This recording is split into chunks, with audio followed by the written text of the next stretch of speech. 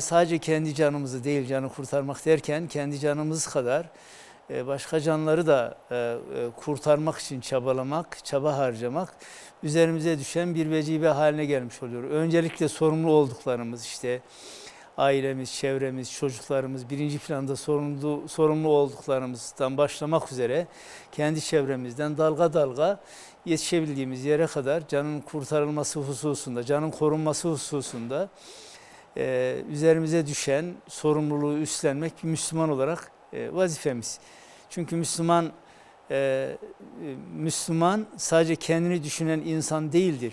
Hadis-i şerifte de ifade e, buyurulduğu üzere üzere la yu'minu ahadukum hatta yuhibbe li ahihi ma yuhibbu li nefsihi. Sizden biriniz kendisi için sevip istediğini başkası için de sevip istemedikçe gerçek manada imana erişmiş olamaz buyuruyor hadis-i şerifte. E, hatta bunun daha ötesinde yani Kur'an-ı Kerim'de ayet-i kerimede sahabe-i kiramın çok örnek bir vasfı anlatılıyor. Ve yu'thirune ala enfusihim ve lev kâne bihim hasasa.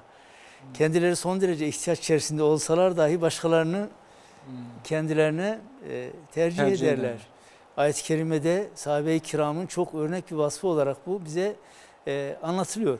Müslüman bu şuura sahip e, e, olan insandır. Bu şuura sahip olması gerekiyor.